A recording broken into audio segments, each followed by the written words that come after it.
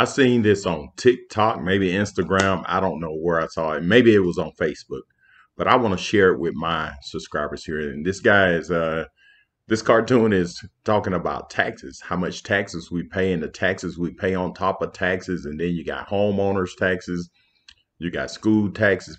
By the time you finish, you're taxed out. It's like you don't have anything left. It's amazing. Check out that. They're they're even throwing this in our face by putting cartoons up about it. Check this out and tell me what you think.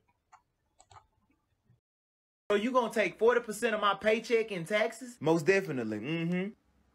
And then after you tax my check, you gonna tax me on anything I spend with the money left from my check that you already taxed. Oh, you getting it now. You this close. You this close to getting ready to chase the American dream. So let me get this shit straight. Bitch, you gonna tax my whole check. Give me what's left. Then I'm gonna spend that on something. And you're gonna tax me again for spending money that was already taxed. And after I buy something, I have to pay taxes on that. Or else you're gonna take it from me because I didn't pay taxes. Yes, and if you do that real hard and just pull up on your bootstraps with all your might, you'll make it in this country. Bro, that sounds like some fucking bullshit. If I gotta pay taxes on anything that exists forever, anytime, always, every day, or else I fucking get my shit took or go to prison, do I own anything? No, y'all don't own shit. It's just a big lending system. We own everything and we just sell you the illusion that you got something. You don't have shit. Miss a tax payment. I'm taking that shit.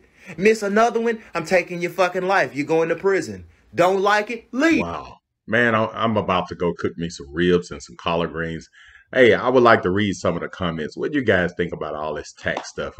They're taxing us and sending it, sending it to the border, uh, sending it to Ukraine, sending it to Israel. Wow, we paying all these taxes and we get no benefit from it.